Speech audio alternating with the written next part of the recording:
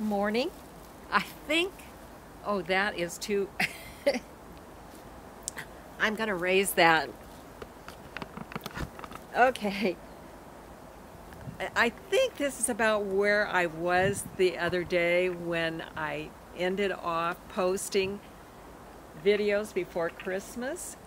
And I just wanted to take you right back here and I'm going to show you a Christmas gift. And so here we go.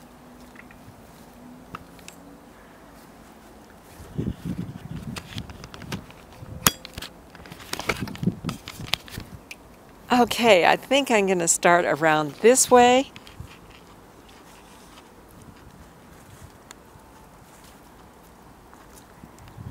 This is new, this pathway.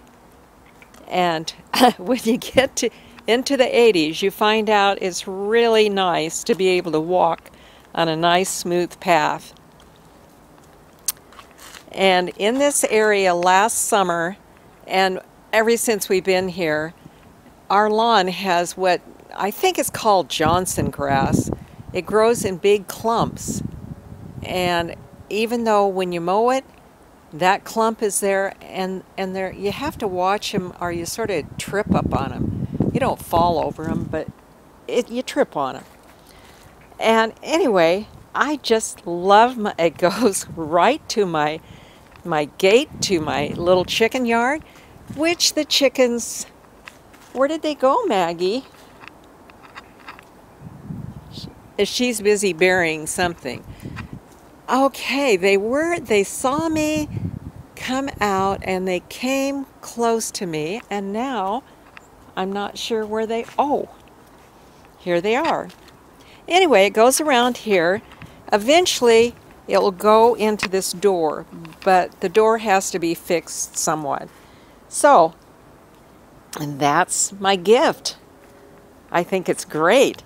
And it, we've got some more work to do across here to get these out and, and put paver on that side and then I'm going to plant stuff in this square.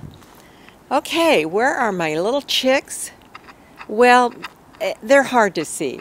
So I'm not going to do a chick review, but I just wanted to show you my new walkway. I think it's wonderful. And I will tell you, Gypsy has sort of a routine. She has recovered. She flies just like she used to. At night, she stays in that house.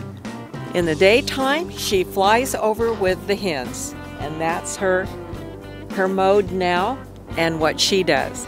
So I'm going to let you go. And the little chicks keep pruning on my broccoli, which is now forming broccoli. There's a little broccoli down in there. So, one of these days we'll have some nice broccoli if they don't eat it before I do. My pineapple sage is still blooming, and here it is, almost the new year. So, with that, have a good day.